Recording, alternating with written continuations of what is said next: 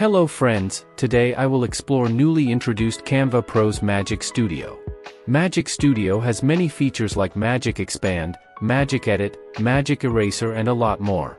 So without wasting time, let's start exploring Magic Studio. I will start by creating a blank canvas. It can be any size, I am gonna choose banner. So let's search for picture to use for our edits. For that I will go to elements and look for woman picture.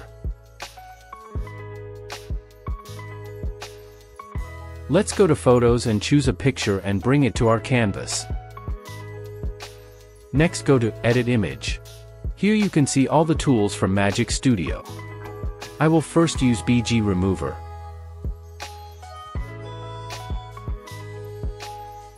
Now choose a background for it. I will type funky backgrounds in the search box.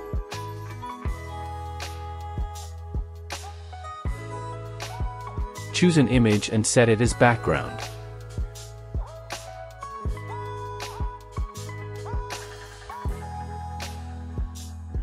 Let's give the image a shadow to make it look more realistic. For this, go to Edit Image, scroll down to Effects, click on Shadows and choose Drop. Adjust intensity and blur for the shadow.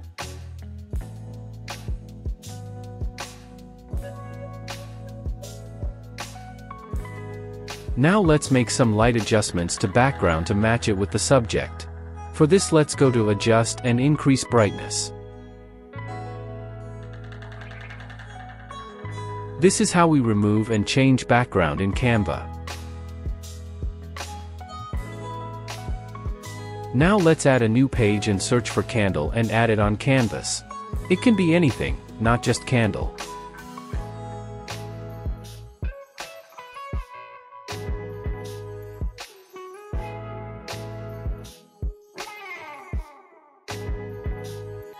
After choosing the image, go to Edit Image and select Magic Eraser.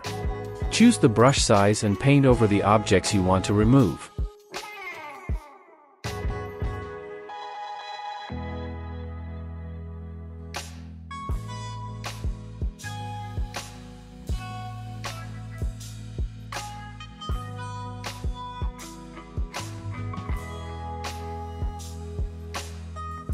You can see how easily we can remove unwanted objects using Magic Eraser. Let's create a new page and add an image on canvas.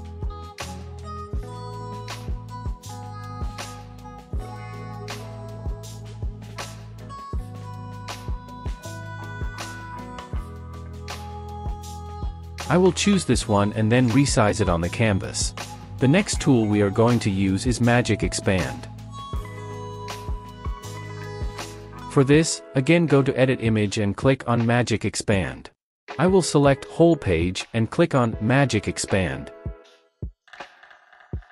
This will make the image expand according to the size of my canvas.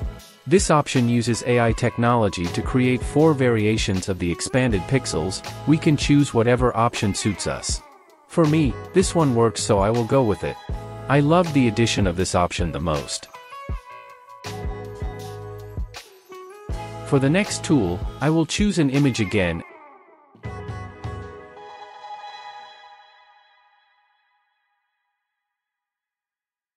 And then choose the Magic Grab option. It will separate the subjects or any objects in our image from the background. This option is really cool if you want to move the objects or subjects on the same background to another position. For our next option, I will use the same image and this tool is really amazing if you want to separate text from your image. For this again, go to Edit Image and click on Grab Text option. It will automatically detect the text in image and separate it as text. So we can move it around and even edit the text as well. This option is really cool when you want to get the text from an image, it will save you time writing texts from image. Our last but not least Magic Studio option is Magic Edit. I will start by adding an image to the canvas and use Magic Expand to make it the size of canvas and you can see how amazing results we get using this tool. Next, I will choose Magic Edit option. This option allows us add any object to the area we will paint over. So let's adjust the size of the brush. paint it over to the area. We can use AI prompts to create the objects we can add on the brushed area. I will use this prompt example given by Canva and see what it comes up with.